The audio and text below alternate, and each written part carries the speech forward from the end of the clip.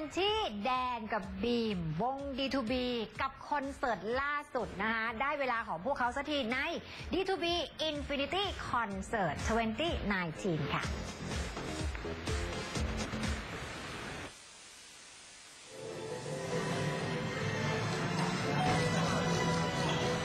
แดนบรเวศนะคะแล้วก็บีมกวีนะคะรวมตัวอีกครั้งหนึ่งในนามวง D2B ค่ะบอยแบนด์ระดับตำนานในยุคปี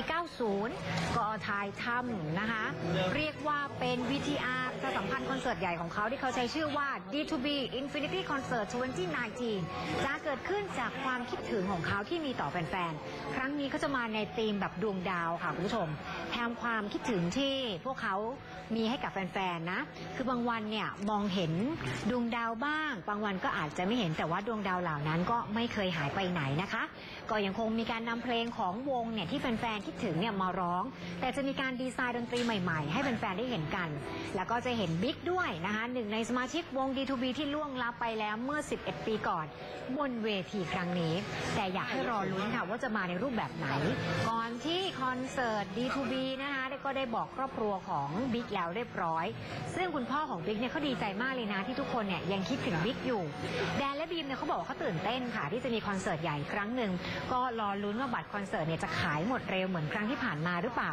อยากรู้ว่าแฟนๆเนี่ยยังคิดถึงกันอยู่เหมือนเดิมไหมนะคะ แล้วก็สัญญาว่าครั้งนี้เนี่ยจะซ้อมท่าเต้นให้เป๊ะมากกว่าเดิม ส่วนแขกรับเชิญบนเวทีก็อาจจะไม่มีค่ะ ขอบอกตรงนี้ตรงๆเลย เพราะว่าอยากใช้เวลากับแฟนๆบนเวทีให้มากที่สุดค่ะ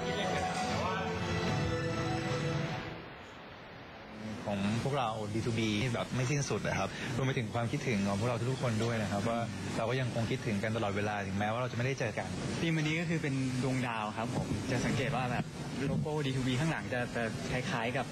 เหมือนกลุ่มดาวครับเอ่อหลักๆ คงเป็นเพลงของ D2B นะครับในดนตรีที่ใหม่ แล้วก็มี music producer ใหม่ ที่เห็นแน่ ๆ เลยก็เราสามคนใช่ครับ เวลาเราเล่นคอนเสิร์ตแต่ละครั้งเนี่ยเราก็ฟังเสียงจากแฟนๆ ส่วนใหญ่ก็อยากจะเห็นเราอยู่บนเวทีด้วยกันให้มากที่สุดใช่ก็มันก็เลยหลายๆครั้งคอนเสิร์ตของ D2B ก็เลย